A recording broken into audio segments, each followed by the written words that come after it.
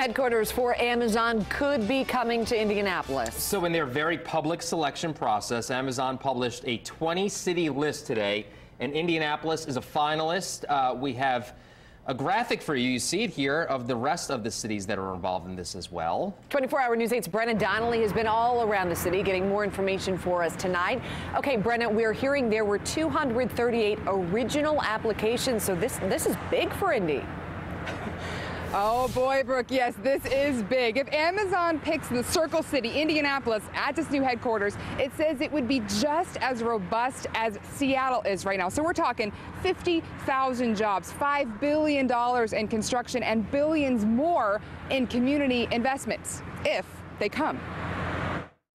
Very excited about this next step. It's very exciting for Indianapolis to at least get to this next phase. Very exciting, obviously. And there are a lot of exciting aspects. Indianapolis making the short list for a huge investment. It's the single largest economic development project in our history. So we're in the top 20. What are our chances? One in 20. We're not counting uh, our chickens uh, before they hatch, but I think it shows that Indianapolis uh, has now taken on a new level uh, of competitiveness. Several city leaders said Indianapolis does bring an impressive package to Amazon's doorstep. Amazon can grow here in a way that they can't grow in many other places. We're a metropolitan area on the rise, and, and our storyline is really compelling. We have a very business friendly climate here. We, we rank very highly on Forbes' list. We were number 10 of uh, for business friendly states. I think that we simply do public private partnerships better than any other community in the country. We've got some of the best universities in the world here in our own state,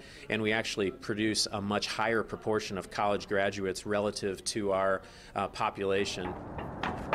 That's one of the places which could really feel the impact. Schools, who say their students leave Indy after graduation to work in the big tech cities. The opportunity to work for a global tech company and and be five miles away has got to be exciting for a lot of students. Whether we make the next cut or not, Mayor Hogsett says we've already succeeded. Every business in America probably knows the 20 names of the finalists because they, that, that's what the media has been consumed with today.